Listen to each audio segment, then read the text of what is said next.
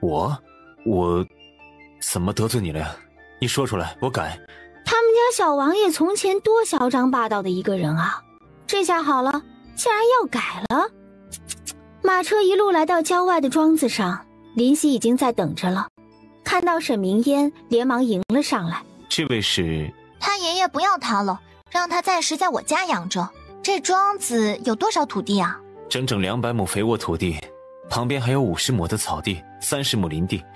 如果需要的，那个也可以开垦，不过产量肯定不高。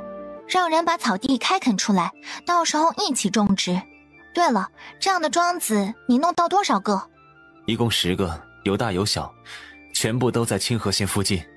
那 那好，到时候全部听我安排，我让种什么就种什么。你不打算种小麦、玉米之类的？那些东西以后再种。这一次全部种一种新型的粮食，叫土土豆，产量非常高，一亩地几千斤。你说的是真的？真有这么好的粮食？你，你有多少种子？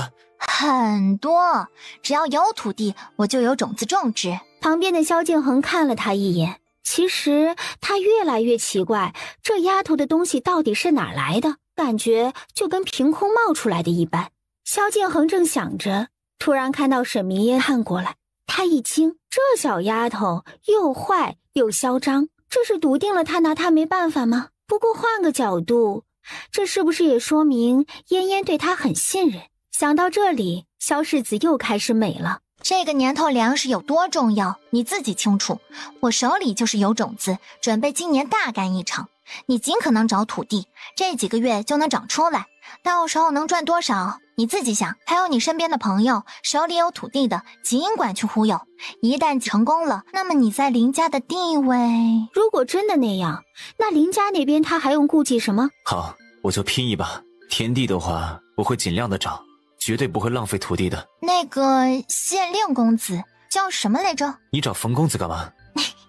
他不是县令公子吗？手里应该也有不少田地吧？找他合作呀。我觉得这事儿，你找你大哥更靠谱。你也知道啊？我当然知道了呀。不仅你大哥坑过我，你大哥还让冯公子也坑了我。唉，可怜的孩子呀！别怕，跟着我混。我带你坑回来，在庄子上待了一会儿，沈明烟就要回去。回去的路上，萧景恒看出了他的不耐烦，不喜欢做这种事情，确实不喜欢，根本没啥价值，浪费时间。看着这小丫头嚣张又冷酷的小脸，萧敬恒就觉得好可爱。林夕留下来还有事情要安排，萧敬恒带着沈明烟先离开，两人坐上马车，马车一路回城。马车上，萧敬恒看着沈明烟，知道他身上有秘密，他也没心思拆穿，甚至还挺想帮他隐藏的。你上次在林家短时间内偷光林夫人库房的本事还在吗？在！你要带我去偷谁家吗？刚才要杀我的人，我知道他们主子在哪里，而且挺有钱的。背后主谋自然不是他们，但是可以拿这个下手，去搬空他们家，怎么样？好啊，好啊！他们在哪？人在府城，我们从这边过去，来回起码要两天。你要不要去看一看你大哥？没问题，我明天一早跟你去。好，回到清湖县城，一切还跟往常一样。沈明言知道，他把阮氏打成那个样子，回去了，沈氏一族肯定要闹的。为了震慑敌人。他准备带点货回去，你去帮我租一个车队，我要带一批货回去，地点就在之前我租的那个宅子里。这是要打发他走？萧敬恒没有拒绝，沈明烟一个人去了那个宅子，从空间里放出来不少东西。等萧敬恒带着马车到的时候，沈明烟东西都已经准备好了。看到这些东西，直接让人搬上马车，回了杏花村。到了村子里，快看，沈家又买粮食回来了。乖乖，这沈家真有钱，这怎么经常弄粮食回来啊？他们在哪儿弄的？这可是灾荒年呐！我怎么觉得沈家每天都大鱼大肉啊？这是我的错觉吗？不是错觉，他们家确实有钱，日子过得呀，跟县城里的大户人家差不多。真有本事啊！哼，瞧你说的，没本事能把沈氏一族气成那样吗？这都闹上门了。众人想着刚才发生的事情，一个个笑着摇头，心里都明白沈氏一族想干什么。屋子里，沈族长坐在那里。沈明，不管你承不承认，你都是我沈氏一族养大的，你跟沈氏一族脱不了关系。如今你竟然打了我们的族人，我这个族长就有权管教你。呵呵，沈族长想怎么管教我？我知道你家长风要读书，读书人最是重名声，被赶出家族，将来前途几乎可以说是全部毁掉了。你一定舍不得毁了这么一个好苗子，我们也舍不得。所以我跟族里长老们商量了一下，决定给你一个改过自新的机会。想要我做什么？你赔偿阮氏二十两银子的医药费，跟我这个族长还有几位长老道歉认错。然后把你家盖的作坊让出来给族里公用，我们就允许你回来。我要是不答应呢？哎，你凭什么不答应？你姓沈，你本来就是我们沈家养大的。哼，我不仅不会答应，还要把你跟昨天的阮氏一样给扔出去。你敢？放心，我爹肯定敢。就算他不敢，我也敢。混账！这里没有你一个女娃子说话的份儿，给我滚出去！哼，这里是我家，没你一个外人说话的份儿，给我滚出去！你，你大胆！来人呐！大小姐，家里的家丁呢？养他们都是吃干饭的吗？来了这种捣乱的人，不知道乱棍子打出去！这么凶悍的大小姐可怎么办？妍妍啊，回房间待着去，不用担心你爹娘会被欺负。你还小，别害怕。这闺女实在太凶悍了。昨天好歹没那么多人看到，她出手也就出手了。可是今天那么多人，她就不知道收敛点儿。坏名声一旦传出去，你做什么好事都是坏的。干坏事必须暗中来。再不济，还有他这个老爹呢。回房去。沈明烟不高兴，但是还是听爹爹的话，乖乖回房去了。女儿狠话已经说了，沈明自然也不会客气，免得下女儿的面子。沈组长，我给你留点脸面，自己滚，不然我可要赶人了。你，你反了天了是不是？哎，沈明，你脱离了家族，将来你的孩子走到哪里都会被人嫌弃鄙夷。你真以为你有点钱就了不起了吗？有钱就是了不起啊！以前我没钱，你们就迫不及待的要把我赶出沈家。可是你看现在，我有钱了，你们立马一大群人过来求我回去。我要是个穷光蛋，你们今天还会站在这里吗？你别你你你啊！我听着都替你尴尬。我沈明捡来的孤儿，本就跟沈家没有半点血缘关系。我是秀才，我儿子也是秀才。我家有钱有功名，你们有什么？哪里来的自信来我这里叫嚣？你你是沈家养大的，我沈氏一族。刘伯，给我轰出去！张口闭口就那几句，他听得脑壳痛。话都说的这么明白了，还装糊涂，懒得搭理了。直接赶出去！刘伯立马带着人把沈族长轰出去。外面人看着，一个个全都憋着笑。秦风、秦朗一个抱着一大块猪肉进了院子，两个人经过沈族长时都停留了一瞬，什么都没说，直接走人。那明晃晃的鄙视把沈族长气得直接晕了过去。马车上的粮食被一包一包的扛进沈家的院子，那么多人看着，都觉得还是沈家靠谱点怎么了？被气到了？这日子真无聊，整天面对。的都是一帮子奇葩，一点脑子都没有，打赢了都没成就感。一些小人物而已，不用放在心上。不过就是还没习惯你们家的富贵，等他们习惯了，会比谁都怂的。你看看镇上那些大户人家，哪个老百姓敢去招惹？沈明烟还是不高兴。既然你这么不喜欢跟这些人打交道，那就要尽快脱离这个环境。等身份抬高了，面对的人自然也就不一样了。相信我，这是真的。你家作坊要开业了吧？等作坊开业了，村里的老百姓就会越发维护你，你呀，在他们心中的地位就有了呀。明天带你去府城，回来作坊就开业了，怎么样？好。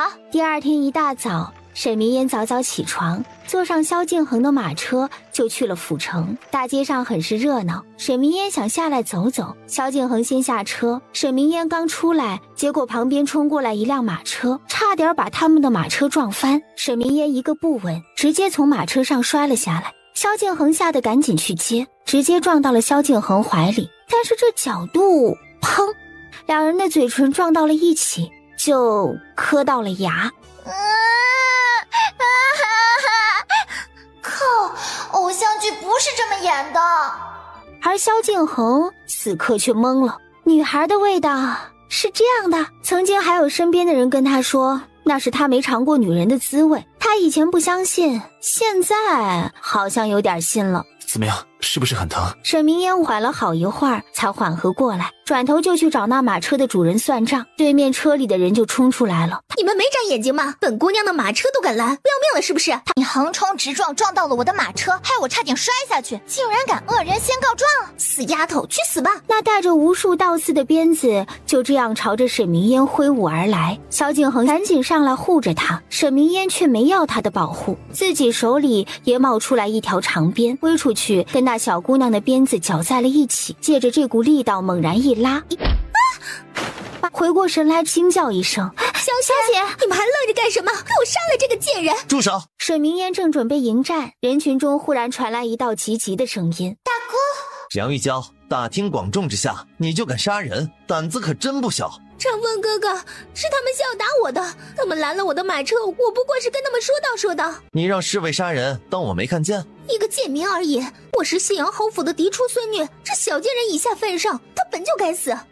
信阳侯府，哼，那个害得母亲流落在外这么多年的信阳侯府，总有一天我要彻底毁了，是吗？这是我家小妹，梁小姐准备怎么处置？你你说什么？她是你妹妹？看来农村的就是农村的，一点教养都没有。没想到她是你妹妹啊，长风哥哥，都是误会嘛？我哪知道她是你妹妹？真是的，你要是早点告诉我，我也不会这样误会妹妹呀。沈家妹妹，你别怕，刚才就是误会，我不会跟你计较的。来了府城一趟，以后记得来找我玩啊！我叫梁玉娇，国都信阳侯府的嫡出孙女。信阳侯是我爷爷，最近在锦州走亲戚，知府大人可是我外公呢。沈明烟看着面前变脸特别快的梁玉娇，心里很清楚，这姑娘手段估计不简单。没事吧？没事。长风，长风，怎么了？怎么又是这个嚣张的丫头？没事了，我家里人来看我了，下次再跟你们聚聚。今天先失陪了。众人看到这幅场景，都猜到了，他们便一个个道别。沈长风没有再理梁玉娇，转过头来看到萧敬恒，两个男人就这么隔空对视，眼神交流间似有火花闪过，他就知道沈长风肯定认识他。当着这么多人的面，沈长风没有说什么，而是把沈明烟带到了附近的一个小院子里。到了屋子里坐下，沈长风拿着药箱过来，嘴巴那里磕到了吧？过来抹点药膏。看着面前的大哥，可就是让人觉得怕怕的。沈明烟乖乖坐下，沈长风温柔的给他上药，无视了一旁的萧敬恒，把这个吃了。沈明烟闻了闻，张嘴吃了。是来找我的？正好有点别的事情要办，就过来了。也就是说，找我只是顺道的事儿？为什么没让你二哥、三哥跟你一起来啊？爹爹知道吗？那就是临时决定的。你怎么知道？如果不是临时决定的，爹爹肯定会传消息给我的。刚才那个女孩子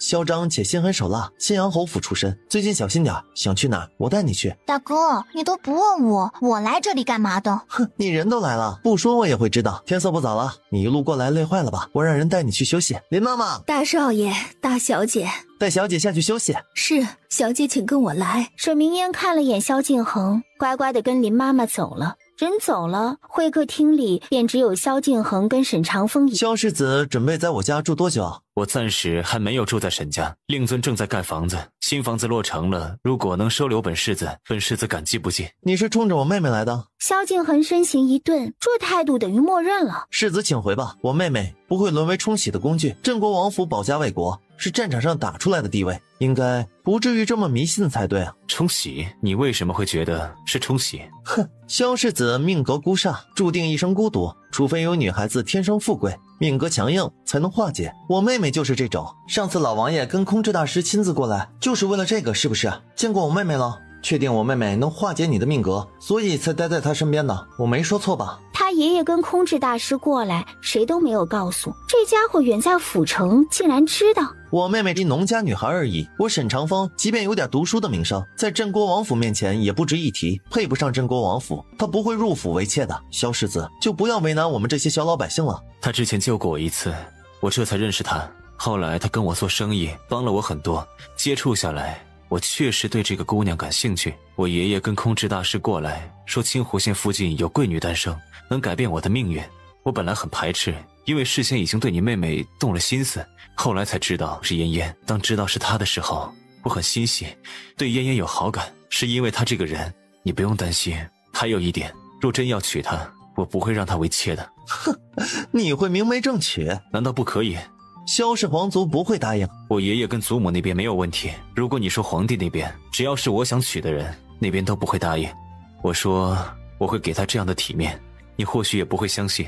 不过有一点你要相信，你的妹妹到了能嫁人的时候，不会一无所有，她的身份不会比任何人差。进门直到现在，这句话最得沈长风的心。沈明烟被林妈妈带着去房间休息，布置的也很清雅，这风格就是专门给女孩子准备的，这是专门为她准备的。这里是府城，而且是繁华地带。沈家果然有钱人啊！这帮人在外面过得这么好，是怎么让杏花村的那帮人以为他们很穷的？无法理解。四处看了看，知道大哥跟萧敬恒那边会谈些什么，他待不住，还是准备过去瞧瞧。大哥，家里的事情我都知道，包括你曾经几次借着我的名义弄粮食回家。我知道你会知道的，爹爹也知道。至于娘亲知不知道，我就不知道了。就不怕被揭穿？哼，谁会揭穿？你们吗？你们本来就知道我故意说谎的，只会帮我隐瞒，才不会揭穿呢。这小丫头是有恃无恐吗？那些粮食是哪来的？大哥，我如果告诉你我受过观音菩萨的点化，手里有神仙宝贝，你信不信？信。这种鬼话你也信？这个世界奇妙的很，我不知道的事情多的是。只要你能解释粮食的来源，我就信。我不解释行不行啊？反正我能弄到，很安全，还很正当。不想说也可以，以后只能跟信任的人合作。还有，做事之前最好先告诉我们，这样我们好掩护你。大哥，你就不好奇，不想知道具体原因？这么维护我，就不怕我最后说谎了？妍妍，我是你大哥，你什么时候连大哥也不相信了？你是我妹妹，我自然维护你。即便你说谎了，有隐瞒了。也不会害我。每个人都有秘密，都有想守护的人。你的秘密甚至还在帮我们这一家，我为什么要怀疑你？他是真的无法理解这种护短，应该说他没经历过。沈明烟没说话，长大了，有心事了，连大哥都不相信了。妍妍，你记住，不管什么时候，我们是一家人，哥哥一定会保护你的。沈明烟看着眼前的人，不知道应下还是不应。他做事向来都有保留，不是因为相信他们，他只是相信自己的能力而已。可是眼前的沈长风突然就让他心里很暖。大哥果然是最爱我的呀，嫣嫣可是记住这句话了。有的事情我还不想说，但是哥哥要相信我，不会害任何人的。现在呢，跟你坦白一下我的想法。我知道你们排斥萧敬恒，但是我不想赶他走。为什么？我不想一辈子做小老百姓，一点自我保护的能力都没有，接触到的全是一些没脑子的人，我受不了这种生活。人往高处走，水才往低处流。不要跟我说那些什么视金钱如粪土的人高雅，也不要跟我说想要荣华富贵是爱慕虚荣。我想要权力，我要站在顶峰，无人敢欺。我想在这乱世有自己的一席之地。现在我们太弱小了，这样乱糟糟的世界需要一个强有力的合作伙伴。萧敬恒就是目前最好的选择。他还以为，就算嫣嫣想要进入权贵阶层，跟萧敬恒接触也只是因为男女之情，完全没想到嫣嫣会说出这样一番话。感情闹了半天，这丫头完全就是把萧敬恒作为一个合作伙伴，各取所需。妍妍，你一个女孩子怎么会有这种想法？你你留下萧敬恒，难道不是因为因为他是一个不错的男人，适合做夫君？这才是正常女孩子的思维吧？做夫君也不是不可以吧？只是我没太大期待。我长得漂亮又足够优秀，男子追求我是人之常情。既然他来了，那我好好考量就行了。但这需要一个过程，这期间我把他当成合作伙伴，资源共享，各取所需，不行吗？行，当然行，就是完全不像个小女生的想法，理智的让人害怕。他忽然觉得萧世子要被他妹妹拐来他们家了，不知道萧敬恒知道了妹妹的想法会是什么表情。刚才那家伙可是跟我承认了他喜欢妍妍呢。哈哈，妍妍说的都对，大哥听你的，你想怎么样就怎么样。哥哥好好考功名，将来给你撑腰就行。谢谢大哥了。你大哥怎么了？怎么突然对我的态度就变了呀？你这么优秀，他为什么要为难你？这么一个出色的合作伙伴，说不定还能考察一下做自己的妹夫，这没必要为难呀。这这句话成功把萧世子给取悦到了。嫣嫣觉得我很优秀。对呀，没几个人能在你这个年纪有你这样的成就的吧？光是容貌就已经完胜无数人了。再次被取悦到了，实在太开心了。你喜欢钱，对不对？我带你啊，去那家的库房怎么样？你想搬空的话，我帮你。他们家是不是很有钱？超级有钱，是个大贪官，家底非常厚实。太好了，今晚咱们就行动。你就不奇怪我到底是怎么把人家搬空的？你以为我猜不到吗？你身上肯定有宝贝。之前在大街上跟梁玉娇对打的时候，那鞭子突然就出现在你手上，怎么看怎么不合理啊！你挺聪明呀。你就喜欢聪明的人，不是吗？商定好一切，沈明烟跟萧敬恒就在这里睡下。半夜，沈明烟已经换好了夜行衣，出来的时候，萧敬恒已经等在门外了，同样是一身的黑衣。走吧。两人刚转身，就看到一身白衣拿着扇子来的沈长风。你俩去哪儿？我们一起。大哥，你怎么在这儿？我不能在这儿。你一个小姑娘，大半夜的想要出去，当哥哥的我不该保护你。我我的意思是，你怎么知道我要出去？难不成你来我这里是来玩的？既然不是来玩的，那肯定不是好事。尤其白天那个梁玉娇还打了你，是不是要去找她算账？不是他，我就是劫富济贫去。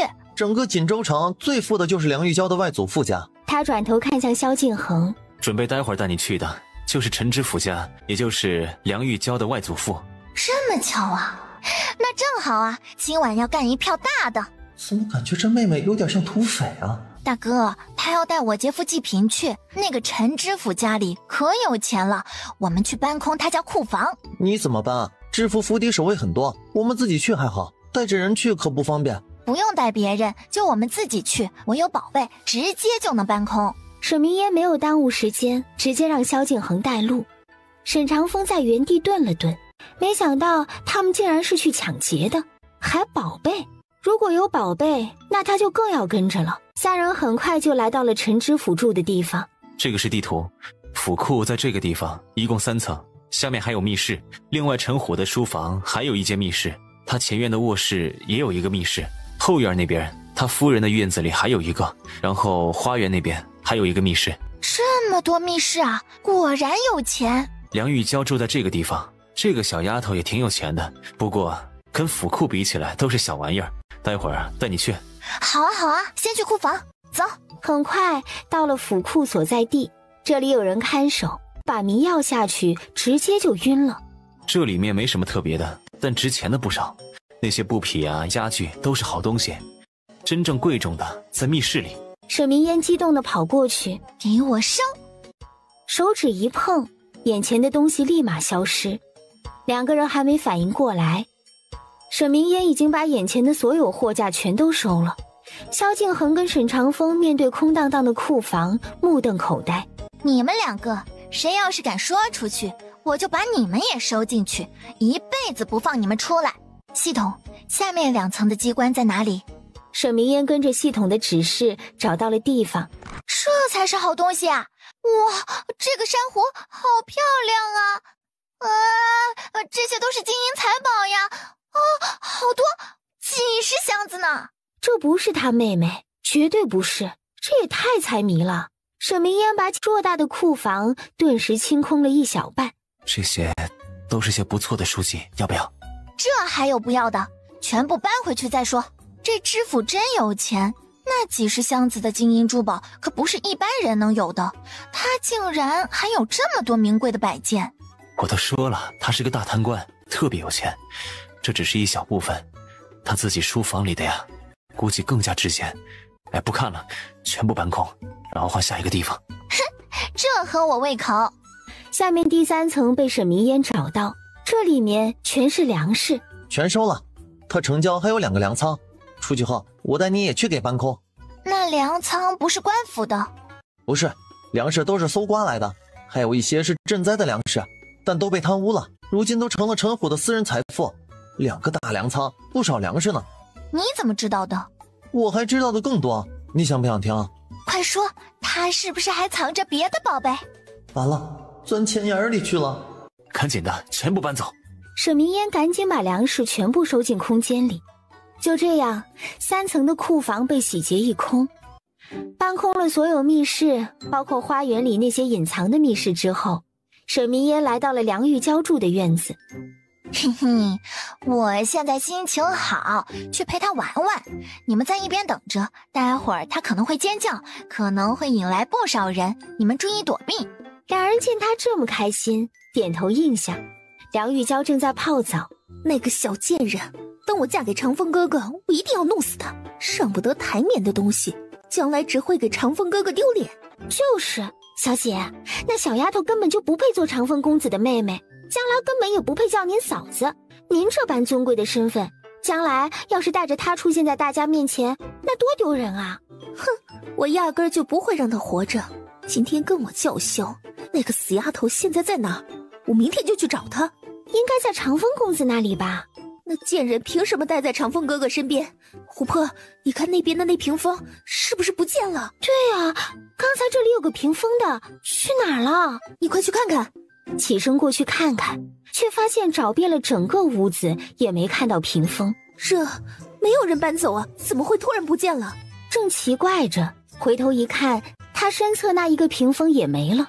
梁玉娇感觉有点害怕了，之后是眼睁睁的看着这一切突然消失，一屋子的丫鬟吓得面无人色，吓得全都跑了出去。啊，鬼呀！别走，回来，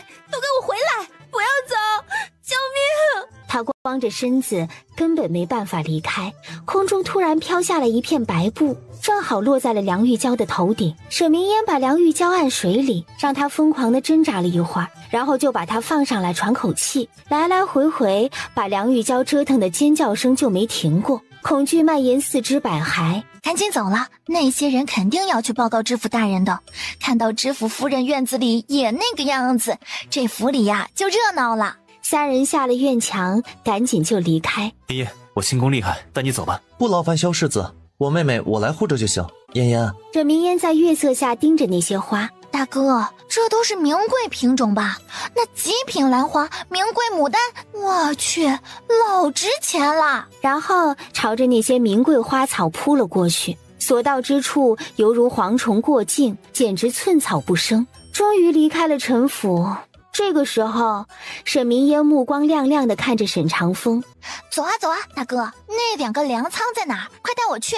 妍妍，天色已晚，咱们先回去休息吧，以后再……哎呀，我一点都不困，那么多钱等着我去赚呢，哪里还会想睡觉？就带他去吧，不然搬空了，他估计都睡不着了。大不了让他明天多睡会儿啊。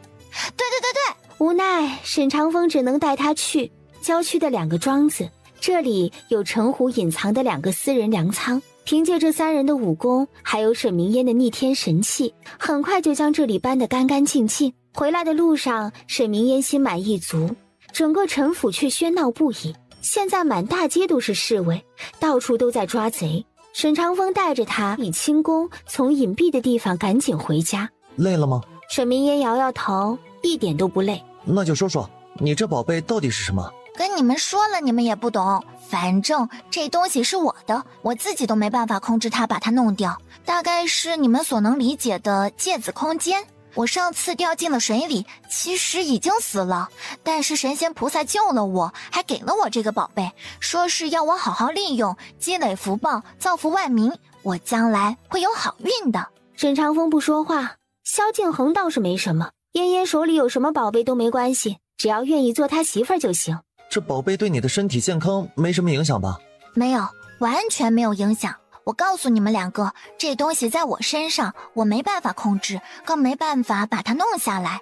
你们谁要是敢觊觎，我就把你们也收进去，永远都不让你们出来，听见没有？死丫头竟然不相信哥哥，以后哪里有宝贝不告诉他？哥哥是缺宝贝的人吗？哥哥有钱的很，才不在乎你那么个宝贝呢。抢？开什么玩笑啊！不抢的话，媳妇儿是我的，聪明的大舅子是我的，大将军跟大商人的小舅子是我的，腹黑老丈人还是我的。抢的话，那这些人都跟我成仇了。那东西燕燕玩的很溜，我抢来了不会玩怎么办呢？我要媳妇儿，我要转运，我要生孩子。那宝贝儿能给我生孩子吗？见两人都这么不屑的翻着白眼走了，一点面子都不给他。喂喂喂，我在跟你们说话呢。我认真的，我能把你们也收进去的，哎，站住！有没有搞错呀？随身空间这样的宝贝都没有作为宝贝的牌面了吗？你们也太不把宝贝放在眼里了。第二天，沈明烟睡到大中午才起来，睡饱了，他整个人都精神的不行。昨晚因为存储了大量的物资，系统空间升级了。客厅里，沈长风跟萧敬恒正在吃午饭。沈明烟过来坐下。外面怎么样了？有的说陈府闹了鬼，东西都被搬空了；有的说陈府是得罪江洋大盗了，被人给偷光了；还有人说陈府是得罪神仙了，觉得他不配拥有那些财富，就给收走了。反正说什么的都有。陈大人醒来之后，发现多年积攒的财富一夜之间全没了，吐血晕过去了，现在还没醒呢。那位梁玉娇梁小姐吓得有点精神失常了，听说大夫整治只是吓坏了，家人安慰一段时间就能没事。只不过她洗澡的时候太多侍卫冲进去了，已经传开了，名声是彻底毁了，以后再也不能仗着身份要嫁给谁谁谁了。大哥，这府楼的饭菜不错呀。青湖县那边除了咸福楼，别的都没你这好吃。你那宝贝能装多少东西啊？大哥，你还有别的东西要我搬？有，能装好多好多呢。在哪？在哪？今晚就带我去。还是不要去了，免得万一我记错了，你会以为我在欺骗你。毕竟你昨晚还不是很相信我呢。等以后有机会，我再带你去吧。沈长风吃完了，淡定的起身走了。他怎么这么记仇啊？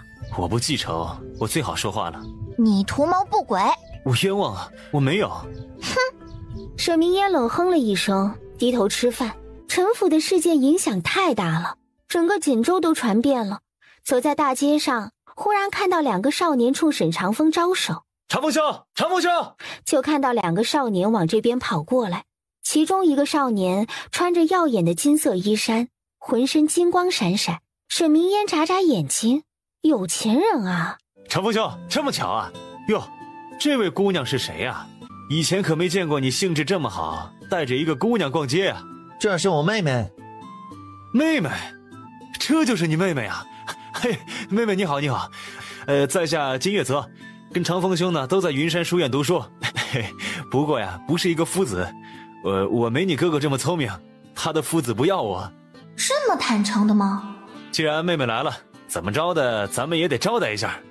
去咸福楼吧，咸福楼最近啊出了新的菜式，我请客，带妹妹去尝一尝。沈长风没有拒绝，几人便往咸福楼去。锦州这边也是有一家咸福楼的，并且比青湖县那边的更大，也更豪华。金公子，长风公子，几位公子小姐，里面请。上一些招牌菜，本公子今天呢，请请朋友们吃饭。哎，好嘞，好嘞。几位楼上请，楼上有雅间。众人去楼上雅间。沈明烟看了下这里的环境，看大哥的样子，似乎对这些消费见惯不怪。他有点好奇，爹爹到底是从哪儿弄到的钱给大哥花的？虽然知道大哥坑过林夕，有林夕的孝敬，但是沈明烟直觉，一个林夕养不活沈长风的。金月泽跟杨毅跟沈长风很熟悉，对待萧敬恒就不认识了。老大，妹妹喜欢吃什么呀？要不要专门点一点别的菜给妹妹？对啊，对啊，妹妹好不容易来一次锦州，我们可得招待好了。锦州这么多好玩的地方，我负责带妹妹去玩，怎么样？我自己的妹妹